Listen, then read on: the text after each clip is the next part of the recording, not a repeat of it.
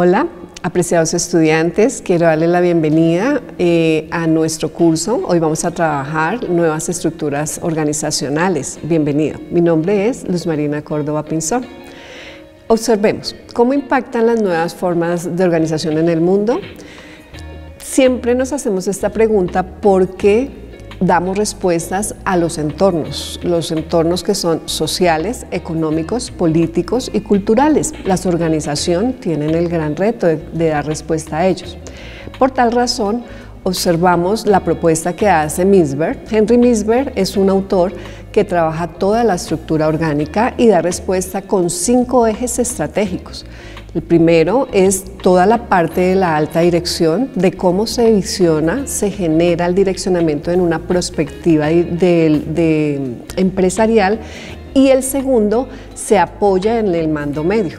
Cómo baja esos sueños, esa visión y esas posibilidades de cambiar esos entornos pero también requiere de la parte o el núcleo operativo que le permite llevar a cabo toda esa parte estratégica y ese componente de la acción hacia el cliente que va transformando mediante la tecnoestructura que propone en su lado izquierdo en su apéndice.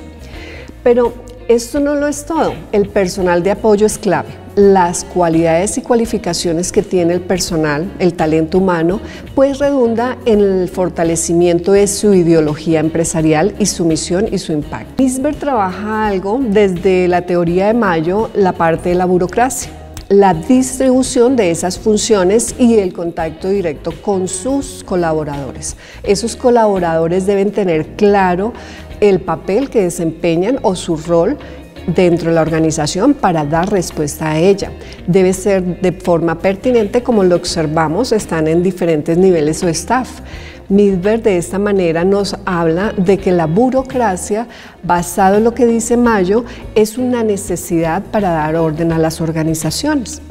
En este orden de ideas también observamos que Rivas, adaptado por Misber, trabaja la adocracia. La adocracia es poder generar empresas ágiles eficientes.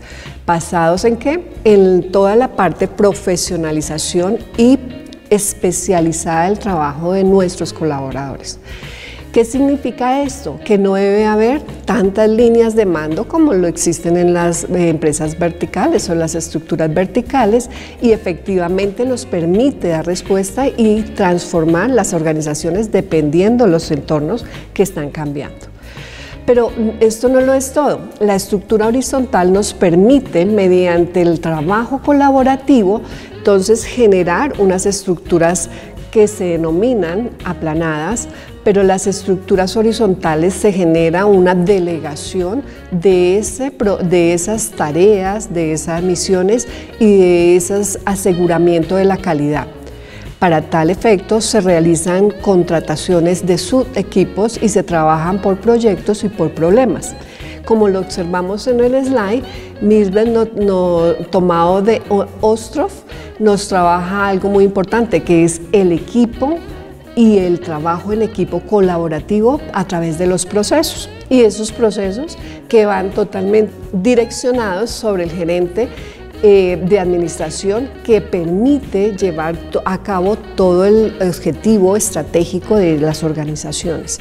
Para tal efecto podemos observar un poco esta metodología que utiliza Rivas, tomado de Stategor, que es efectivamente el concepto de transformación de la jerarquía de lo vertical ya a la red. La red pasa a ser ese lazo de colaboración, como Bertrand Lafley lo decía en su parte teórica de la teoría de los sistemas, todos los componentes colaborativos que tienen efectivamente estas células, porque se habla de células en las organizaciones, que se van transformando permanentemente para dar respuesta a su entorno. Y se habla de que hay una jerarquía, pero se intercambia la jerarquía horizontal con la vertical y se transforma dependiendo la necesidad de ese entorno. Por tal razón, también observamos em, más, más evolucionado la organización celular. Esta organización celular nos permite comprender qué es lo que requiere el entorno, generar esa necesidad y las alianzas estratégicas necesarias que fortalecen los lazos de cooperación. Y de tal manera, como lo observamos acá, existen células de prototipos, unidades de células y células, células colaborativas organizacionales que dan respuesta a esos entornos cambiantes.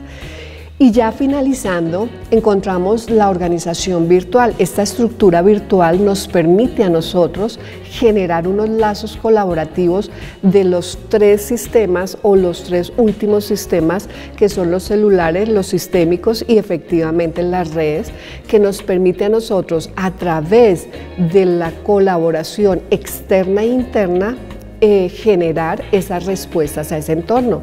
Y quise traerles esta definición de Berne 1997, donde nos dice efectivamente, todas las organizaciones que, se hablen, que hablen de virtualidad están enlazadas tecnológicamente y esa tecnología, como va evolucionando, debe ir siendo colaborativa porque saldría muy costoso si solo una organización se dedicara a ello. Entonces, por eso observamos clave en este tipo de modelo organizacional las alianzas, esas alianzas estratégicas que permiten que los, los trabajos colaborativos y el conocimiento se compartan con otras organizaciones de la misma actividad empresarial. Otro elemento son las redes estratégicas y empresariales virtuales. En nuestro país tenemos una que se denomina Colciencias. Colciencias tiene una red del conocimiento y esa red del conocimiento está dando respuesta a las industrias de tal manera que la industria genera una necesidad, Colciencias saca su convocatoria y todas las organizaciones que están pendientes a nivel de prototipaje, de innovación, de desarrollos, dan respuestas a ello. Por eso Birnen, lo, dice de manera precisa y es generar efectivamente un ecosistema organizacional que dé respuesta a esas necesidades de ese entorno.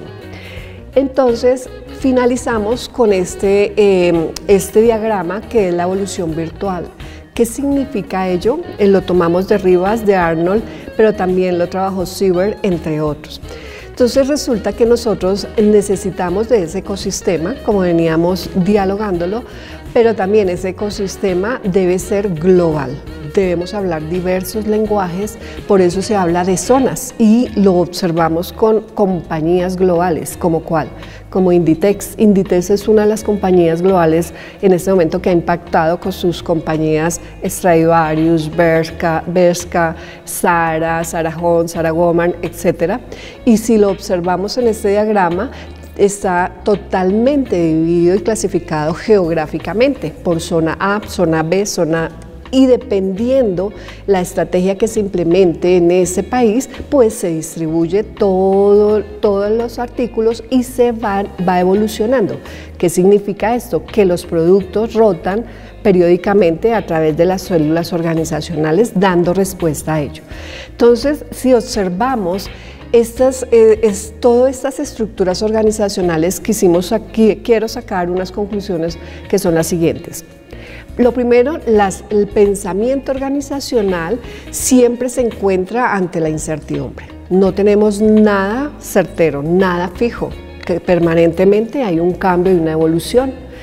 Otro elemento importante es que ese cambio nos genera a todos los eh, administradores, gerentes o gestores de no solo de la empresa, sino del conocimiento, generar unas posibilidades nuevas, una innovación y un desarrollo. A eso estamos llamados, a que generemos propuestas con carácter innovador y con carácter de valor agregado. En tercera instancia, también es importante establecer cada estructura organizacional para cada empresa. No es igual una General Motors que un OMA o que un tostado no son iguales, entonces debemos estructurar nuestras empresas teniendo en cuenta la visión, también lo que queremos conseguir, pero dependiendo del ecosistema en el que nos encontremos. Por ende, al final de nuestra conclusión es que nuestros perfiles como empresarios y como gestores de esas organizaciones sencillamente están cambiando. Estamos eh, enseñando a los estudiantes para que ellos dirijan organizaciones que aún no existen y ese es el gran reto.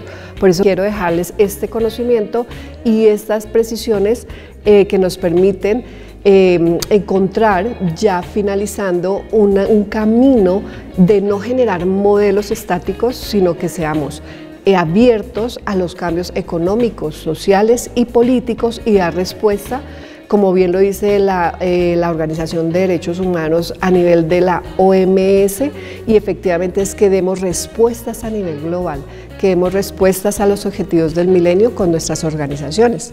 Por eso termino con esta frase. Em, Peter Drucker dice, las organizaciones son el eje central de una economía, por eso las estructuras son tan importantes. Muchas gracias por su tiempo y que tengan un feliz día.